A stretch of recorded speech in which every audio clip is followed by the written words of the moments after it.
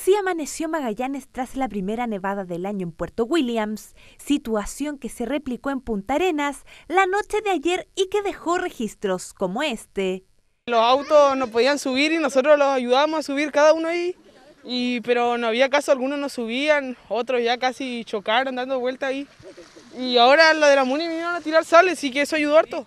Acá están todos los cabros jugando acá, todos contentos, con bici, no le importa que haya nieve, nada.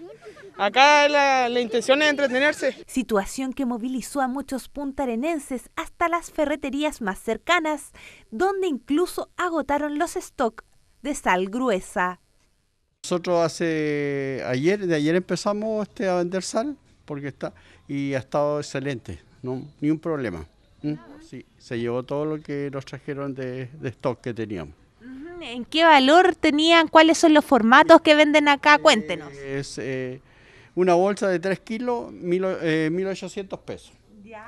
Y el saco, 14 lucas. Producto fundamental durante el invierno que evita más de un accidente en las frías y escarchadas mañanas. Sin embargo, este no es el único producto, ya que cada año se suman nuevos productos al set de invierno de los magallánicos. Durante todo el año nosotros trabajamos un producto que se utiliza bastante, pero sobre, sobre todo se incrementa en esta fecha, que es la parafina líquida.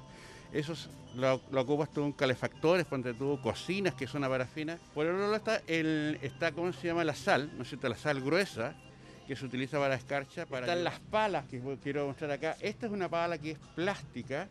Y lo otro, y yo creo que por último, lo, son estos aislantes para cañerías. Distintos formatos que van desde los 1.800 pesos en el caso de los 3 kilos hasta los 11.000 en el caso de los 20 kilos de sal, una realidad conocida para los oriundos de la región más austral del país, pero que sorprende cada año a la población flotante que por motivos laborales llega hasta aquí.